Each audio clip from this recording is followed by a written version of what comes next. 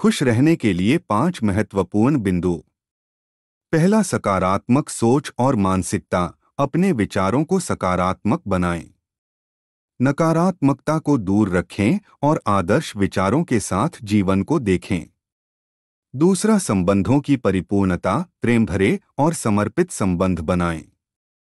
तीसरा, स्वास्थ्य देखभाल, अपने शरीर, मन और आत्मा की देखभाल करें।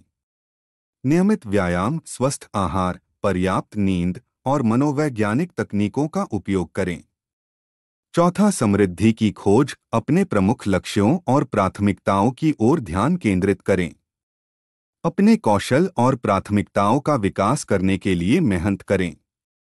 पांचवा, आंतरिक शांति का संरक्षण, अपनी मन शांति और आंतरिक संतुष्टि का प्रयास करें।